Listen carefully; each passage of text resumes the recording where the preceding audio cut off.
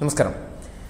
A A റഹീം എന്ന വ്യക്തി ഡിവൈഎഫ്ഐയുടെ ദേശീയ പ്രസിഡന്റാകുകയാണ് ഒരുപക്ഷെ ഡിവൈഎഫ്ഐ എന്ന സംഘടനയ്ക്ക് ഒരു പുതിയ മുഖം നൽകിയ ഒരു വ്യക്തിയാണ് ഡിവൈഎഫ്ഐ സംസ്ഥാന അധ്യക്ഷനായിരുന്ന എ എ റഹീം എന്ന് പറയേണ്ടി വരികയാണ്.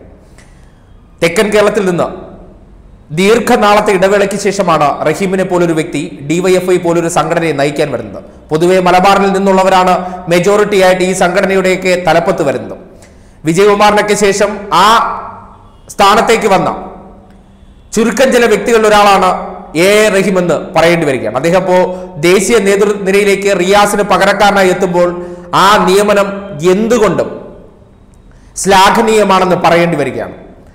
കാരണം ഡിവൈഎഫ്ഐ എന്ന സംഘടനയ്ക്ക് കഴിഞ്ഞ റഹീമിന്റെ മൂന്ന് വർഷത്തെ കാലഘട്ടത്തിനിടയിൽ വലിയ മാറ്റങ്ങൾ സംഭവിച്ചിട്ടുണ്ട്. അതായത് ഡിവൈഎഫ്ഐയുടെ ഒരുപാട് പേർ ഇപ്പോൾ ജനപ്രതിനിധികളായി മാറിയിട്ടുണ്ട്. ആ രീതിയിലേക്ക് സംഘടനയെ ജനങ്ങൾക്ക് ഉപകാരപ്പെടുന്ന കാര്യങ്ങളിലേക്ക് എത്തിപ്പെടാൻ വേണ്ടി ഒരുപാട് പദ്ധതികൾ ആവിഷ്കരിച്ച നേതാവാണ് റഹീം. അദ്ദേഹത്തിന്റെ മൂന്ന് വർഷത്തെ പ്രവർത്തനം എടുത്തു കഴിഞ്ഞാൽ മുൻപത്തെ ഡിവൈഎഫ്ഐയും ഇപ്പോഴത്തെ ഡിവൈഎഫ്ഐയും തമ്മിൽ അജഗജാന്തരമാണ് വ്യത്യാസമെന്ന് പറയേണ്ടി വരുന്നത് അതായത് മുൻപ് നമ്മുടെ നാട്ടിൽ മാതൃകയില്ലാത്ത കോവിഡ് കാലം. ആ കോവിഡ് കാലത്ത് ഒരു യുവജന പ്രസ്ഥാനങ്ങൾ എങ്ങനെയാണ് ജനങ്ങൾക്ക് ഗുണകരമായി മാറേണ്ടത് എന്നതിന് ഒരു നേർ ഉദാഹരണമാണ് ഡിവൈഎഫ്ഐ അത് ഡിവൈഎഫ്ഐ മാത്രമല്ല എസ് എഫ് ഐ പോലുള്ള സംഘടനകളെല്ലാം സർക്കാരിനോടൊപ്പം നിന്ന് പൊതുജനങ്ങൾക്കിടയിലേക്ക് ഇറങ്ങിച്ചെന്നും അവരുടെ ആവശ്യങ്ങൾ നിറവേറ്റുന്നതിനും വോളണ്ടിയർമാരായി ആയിക്കോട്ടെ അല്ലെങ്കിൽ കോവിഡ് ദുരിതം അനുഭവിക്കുന്ന വീടുകളിലെത്തി അവരുടെ ആവശ്യങ്ങൾ നിറവേറ്റി കൊടുക്കുന്ന പ്രവർത്തനങ്ങൾ ചെയ്യുന്ന ഏത് കാര്യങ്ങളിലും ആയിക്കോട്ടെ ഡിവൈഫൈ കഴിഞ്ഞ മൂന്ന് വർഷങ്ങൾക്കിടയിൽ ചെയ്ത പ്രവർത്തനങ്ങൾ ഒരുപക്ഷെ സമൂഹത്തിന് എന്നും ഓർമ്മിക്കാൻ തക്ക രീതിയിലുള്ള പ്രവർത്തനങ്ങൾ തന്നെയായിരുന്നു എന്ന് പറയാൻ കഴിയും. അതായത് അതിൽ ഏറ്റവും മികച്ച ഉദാഹരണമായി എടുത്തു പറയേണ്ട രണ്ട് സംഭവങ്ങളുണ്ട്. ഒന്ന് കമ്മ്യൂണിറ്റി കിച്ചണും മറ്റൊന്ന് മുഖ്യമന്ത്രിയുടെ ദുരിതാശ്വാസ നിധിയിലേക്ക് ഒരു യുവജന സംഘടന പതിനൊന്ന് കോടി രൂപ കളക്ട് ചെയ്ത് കൊടുക്കുകയാണ്. ആ രണ്ട് സംഭവങ്ങൾ ഒരുപക്ഷെ കേരള ചരിത്രത്തിൽ തന്നെ സമാനതകളില്ലാത്ത മാതൃകയാണ്. ആ ഒരു പരിപാടിക്ക് രൂപം നൽകാൻ റഹീമിന്റെ നേതൃത്വത്തിലുള്ള സംഘടനയ്ക്ക് കഴിഞ്ഞത് ഈ നാട്ടിൽ ഈ സംഘടനയ്ക്ക് ജനങ്ങൾക്കിടയിൽ വലിയ സ്വാധീനം ഉണ്ടാക്കുന്നതിന് ഇടയാക്കിയിട്ടുണ്ട്. പല കോണുകളിൽ നിന്നും ജനങ്ങൾ പറഞ്ഞു തന്നെ അത് കേൾക്കാനിടയായി അതായത് ഈ സംഘടനയുടെ പ്രവർത്തനങ്ങൾ ഒരുപാട് ഗുണമാണെന്ന് അതായത് അവർ ബുദ്ധിമുട്ട് അനുഭവിച്ചിരുന്ന സന്ദർഭങ്ങളിലെല്ലാം. അവരോടൊപ്പം ഓടിയെത്താൻ ഈ സംഘടനയിലെ ചെറുപ്പക്കാർ വളരെ ചുറുചുറുക്കോടെ നിന്നിരുന്നു. അതിനുവേണ്ടി അവരെ പ്രാപ്തരാക്കി എന്നുള്ളത് വസ്തുതാപരമായിട്ടുള്ളൊരു കാര്യമാണ്. ലോക്ക്ഡൌൺ കാലത്തിൽ കമ്മ്യൂണിറ്റി കിച്ചൺ എന്ന സംവിധാനം നേരത്തെ പറഞ്ഞതുപോലെ പലയിടങ്ങളിലും ഊണുമുറക്കവുമില്ലാതെ ക്വാറന്റൈനിൽ കഴിയുന്നവർ കോവിഡ് ബാധിതർ അവർക്ക് മൂന്ന് നേരത്തെ ഭക്ഷണം മുടങ്ങാതെ എത്തിച്ചു നൽകുകയാണ്. ആ ഒരു പ്രവർത്തനം ജനങ്ങൾക്ക് അനുഭവിച്ചറിയാൻ കഴിഞ്ഞിട്ടുണ്ട്. ആ ഒരു ഇടപെടൽ ജനങ്ങളെ ഈ സംഘടനയിലേക്കും ഇതുമായി ബന്ധപ്പെട്ട് പ്രവർത്തിക്കുന്ന യുവത്വങ്ങളോട് ഒരു താല്പര്യം ഉണ്ടാക്കി കൊടുത്തിട്ടുണ്ട്. ഇതൊക്കെ എത്ര നിഷേധിച്ചാലും ചില ഒറ്റപ്പെട്ട സംഭവങ്ങളൊക്കെ ഉയർത്തിക്കാട്ടി ഈ സംഘടനയുടെ ജനസ്വാധീനത്തെ ഇല്ലാതാക്കാനായിട്ട് ശ്രമിക്കുന്നുണ്ട്. പക്ഷേ റഹീമിന്റെ നേതൃത്വത്തിൽ നടത്തിയിട്ടുള്ള ഈ ഇടപെടൽ കേരളത്തിലെ തദ്ദേശ സ്വയംഭരണ തെരഞ്ഞെടുപ്പുമായി ബന്ധപ്പെട്ട ഈ നാട്ടിൽ നിരവധി ചെറുപ്പക്കാരെ ജനങ്ങൾ വളരെ ഊഷ്മളതയോടുകൂടി അധികാര കേന്ദ്രങ്ങളിൽ എത്തിച്ചിരിക്കുകയാണ്. അതായത് അവർക്ക് ആ വ്യക്തിത്വങ്ങളെ സംബന്ധിച്ച് ഒരു സംശയവുമില്ല.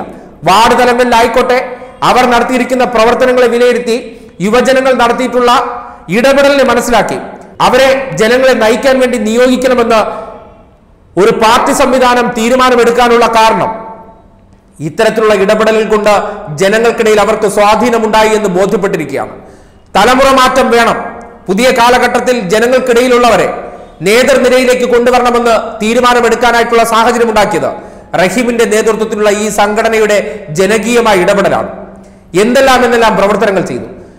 അതിൽ മുഖ്യമന്ത്രിയുടെ ദുരിതാശ്വാസ നിധിയിലേക്ക് ഡിവൈഎഫ്ഐ പതിനൊന്ന് കോടി രൂപയാണ് ഈ നാടിൽ നിന്ന് കളക്ട് ചെയ്ത് കൊടുത്തത്. ഒരു യുവജന സംഘടന ഇന്നത്തെ കാലഘട്ടത്തിൽ ഈ പ്രവർത്തനം ചെയ്തെങ്കിൽ കേരളത്തിൽ തന്നെ പ്രവർത്തിക്കുന്ന മറ്റൊരു യുവജന സംഘടനയ്ക്കും അത് ചെയ്യാൻ പറ്റില്ല എന്ന് ഉറപ്പിച്ച് പറയാൻ കഴിയും.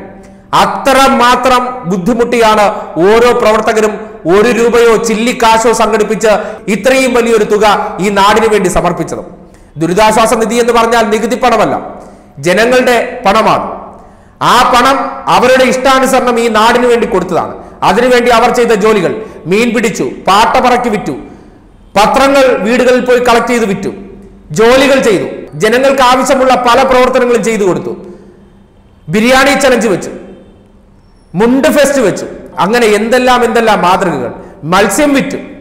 അങ്ങനെ ഈ നാട്ടിൽ ചെറുപ്പക്കാരുടെ ഒരു വലിയ കൂട്ടവും ജനങ്ങളെ സഹായിക്കണമെന്ന വലിയ മനസ്സുമുള്ള ഒരു വിഭാഗക്കാരായി ഡിവൈഎഫ്ഐ മാറി അല്ലെങ്കിൽ ഡിവൈഎഫ്ഐ എന്ന സംഘടനയ്ക്ക് ജനങ്ങൾക്കിടയിലേക്ക് കൂടുതൽ സ്വാധീനം ഉണ്ടാക്കാൻ കഴിഞ്ഞ കാലഘട്ടം റഹീമിന്റെതാണെന്ന് ഒരു തർക്കവുമില്ല. ആ കാര്യത്തിൽ ഒരു പക്ഷേ പാർട്ടി നേതൃത്വത്തിലുള്ളവർക്ക് പോലും തർക്കമുണ്ടാകത്തില്ല. ഇന്നത്തെ കാലഘട്ടത്തിൽ എന്തുകൊണ്ട് ഇടതുപക്ഷത്തിന് ഇത്രത്തോളം സ്വാധീനമുണ്ടായി? രണ്ടാം പിണറായി സർക്കാർ അധികാരത്തിലേക്ക് കടന്നു വരാൻ സാഹചര്യമൊരുക്കിയതും ഈ യുവത്വത്തിന്റെ ജനകീയമായിട്ടുള്ള ഇടപെടലാണ്. സർക്കാർ എടുക്കുന്ന തീരുമാനങ്ങൾ ജനങ്ങളിലേക്ക് എത്തിക്കാൻ അവർ നടത്തിയ ഒരു ശ്രമമുണ്ട്. ആ കൂട്ടായ പരിശ്രമം ഉണ്ടാക്കിയ ഒരു ഇമ്പാക്റ്റ് ആണോ രണ്ടാം പിണറായി സർക്കാർ അധികാരത്തിലേക്ക് എത്തിയെന്നുള്ള കാര്യത്തിൽ? ആവിതർക്കിതമായി തന്നെ പറയാൻ കഴിയും. അത് ഈ സമൂഹത്തെ നോക്കിക്കണ്ട് കാര്യങ്ങൾ വിലയിരുത്തിയവർക്ക് കൃത്യമായി മനസ്സിലാക്കാൻ പറ്റുന്ന ഒരു കാര്യമാണ്. ആ ഒരു ഇടപെടൽ കാരണം പലർക്കും മുൻപ് ഡി എഫ് ഉണ്ടായിരുന്ന ഒരു മനോഭാവമുണ്ട്. അതൊക്കെ ഇപ്പോൾ ഒരുപാട് മാറിയിട്ടുണ്ട്. സമൂഹത്തിന് സഹായമുള്ളവരാണ്. അവർ നടത്തിയിട്ടുള്ള ഇടപെടലുകൾ അതായത് ഡൊമിസിലറി കെയർ ഉൾപ്പെടെയുള്ള പല മേഖലകളിലും വോളണ്ടിയർമാരായി നിന്നവർ കോവിഡ് ബാധിച്ച വീടുകളിൽ അണുനശീകരണത്തിന് വേണ്ടി നിന്നവർ എത്രയെത്ര ചെറുപ്പക്കാർ ആ ചെറുപ്പക്കാർക്ക് ദിശാബോധമുള്ള രീതിയിൽ ജനങ്ങൾക്കിടയിലേക്ക് ഇടപെടണമെന്ന തരത്തിൽ നേതൃത്വത്തിൽ നിന്ന് ആവിഷ്കരിച്ച് അത് നടപ്പാക്കാൻ റഹീമിന്റെ നേതൃത്വത്തിൽ നടത്തിയ ആ ഇടപെടലുകൾ തന്നെയാണ് ഇത്തരത്തിൽ ഈ സംഘടനയ്ക്ക് ഇന്ന് മുമ്പൊരിക്കലും ഈ നാട്ടിൽ കിട്ടാത്ത തരത്തിൽ ജനസ്വാധീനം ഉണ്ടാക്കിയിരിക്കുന്നു എന്ന് ഒരു തർക്കവുമില്ലാതെ പറയും. അതുകൊണ്ട് തന്നെ ഇപ്പോൾ ദേശീയ പ്രസിഡന്റായി അദ്ദേഹത്തെ നിയോഗിക്കുമ്പോൾ ഡിവൈഎഫ്ഐയെ സംബന്ധിച്ച് റഹീമിന്റെ കാലഘട്ടവും ഒരുപക്ഷെ ദേശീയ തലത്തിലും ഈ സംഘടനയ്ക്ക് കൂടുതൽ സ്വാധീനവും ഒപ്പം പല കാര്യങ്ങളിലും ഒരു ദിശാബോധത്തോടെയുള്ള ഇടപെടൽ ഉണ്ടാക്കാൻ കഴിയുമെന്നുള്ളത് അദ്ദേഹത്തിന്റെ ഇത്രയും കാലത്തെ ഇടപെടൽ കൊണ്ട് തെളിയിച്ചിരിക്കുകയാണ്. സംഘടനയ്ക്ക് മുമ്പെന്നുമില്ലാത്ത തരത്തിൽ വലിയ ജനസ്വാധീനം ഉണ്ടായിട്ടുണ്ട്. വലിയ തോതിൽ കുട്ടികൾ ഇതിലേക്ക് ആകർഷിക്കപ്പെട്ടിട്ടുണ്ട്. അതിനുവേണ്ടി കഷ്ടപ്പെട്ടവർ ഇപ്പോൾ പലയിടങ്ങളിലും ജനങ്ങളെ നയിക്കുന്നുണ്ട്. പത്തനംതിട്ടയിലെ കോന്നി പോലൊരു പ്രദേശത്ത് അരുവാപുരം പഞ്ചായത്ത് എന്നാണ് മനസ്സിലാക്കുന്നത്. അവിടെ പതിനെട്ട് വയസ്സുള്ള ഒരു പഞ്ചായത്ത് പ്രസിഡന്റ് വനിതയാണ്. ഇവിടെ കോർപ്പറേഷനിൽ ആര്യ രാജേന്ദ്രനുണ്ട്. ഇത്തരത്തിൽ ഒരുപാട് ഒരുപാട് പേരുകൾ. രേഷ്മ മറിയം ജോയി എന്നാണ് മറ്റേ കുട്ടിയുടെ പേര്. ഈ അരുവാപുരം പഞ്ചായത്ത് എന്നാണ് മനസ്സിലാക്കുന്നത്. ആ കുട്ടിയുടെ പേര് രേഷ്മ മറിയം ജോയി ആണ്. പതിനെട്ട് ഏറ്റവും പ്രായം കുറഞ്ഞ പഞ്ചായത്ത് പ്രസിഡന്റാണ് ഇത്തരത്തിൽ പല മേഖലകളിലും പുതിയ പുതിയ മുഖങ്ങൾ കടന്നു വരികയാണ് അവർക്ക് ജനങ്ങൾക്കിടയിൽ എങ്ങനെ പ്രവർത്തിക്കണമെന്ന കാര്യങ്ങൾ മനസ്സിലാകുകയാണ്. ആ രീതിയിലേക്ക് ഈ സംഘടനയെ ഉടച്ചു വാർത്തെടുക്കാൻ റഹീം നടത്തിയ ഇടപെടൽ എല്ലാ കാലത്തും അനുസ്മരിക്കപ്പെടും.